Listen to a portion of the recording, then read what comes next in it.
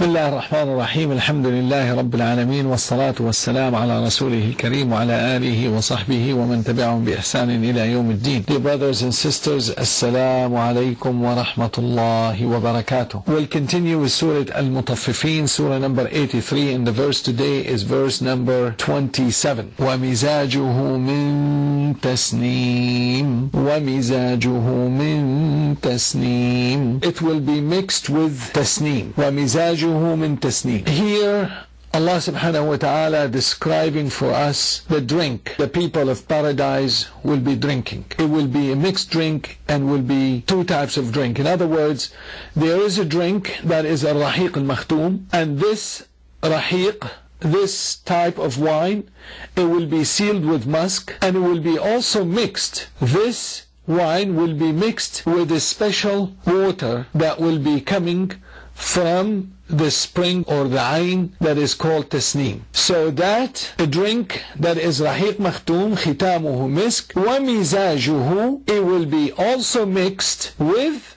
tasneem. This wine that is being described is mixed with tasneem. And this refers to a drink called tasneem. And it is the most excellent and exalted drink of the people of paradise. There are two types of a group in the Jannah, or at least in relate to this verse. Allah subhanahu wa ta'ala tells us the abrar, and also tells us about a group called Al-Muqarrabun. The Abrar, the righteous believers, they will be drinking from a drink, and that's drink called Rahiq Makhtoom. That Rahiq is the wine of paradise, and that will be sealed, and it will be mixed with musk. On the other hand, it will be mixed with a water that is coming from Tasneem. And that water is completely, it's a spring where the drink of those nearest to Allah will be drink purely from. So those Abrar, they will be drinking some of the water of tasneem, but their drink will be the wine that is mixed with that water. But that water tasneem will be specific and special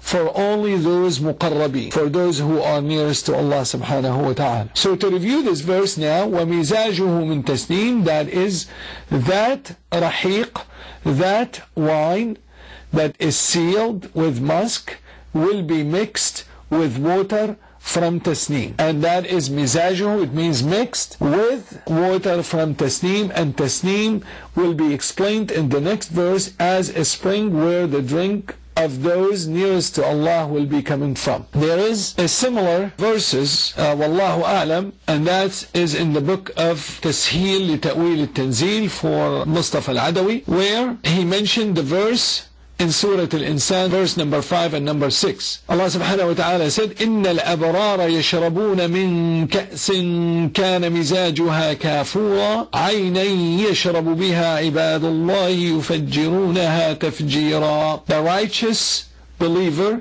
they will be drinking from a glass.